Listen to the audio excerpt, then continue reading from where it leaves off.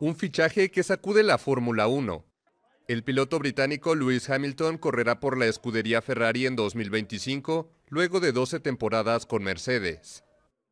En agosto pasado, Hamilton, de 39 años, había renovado hasta finales de 2025 con Mercedes, pero disponía de una cláusula para dejar la escudería alemana al término de la temporada 2024. El siete veces campeón de la Fórmula 1 aseguró en un comunicado que se trata de una de las decisiones más difíciles que ha tomado, pero señaló que es momento de iniciar un nuevo desafío. Hamilton ocupará la plaza del español Carlos Sainz Jr., quien confirmó su salida de Ferrari y quien según rumores podría incorporarse a Sauber. El equipo italiano acaba de renovar con el piloto Jacques Leclerc de Mónaco, quien se convertirá en el nuevo compañero de Hamilton.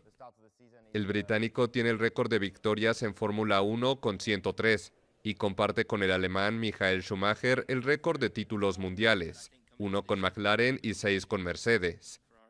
Pero no ha ganado ninguna carrera desde finales de 2021 y en las últimas dos temporadas ha sido claramente superado por el neerlandés Max Verstappen de Red Bull y vigente triple campeón.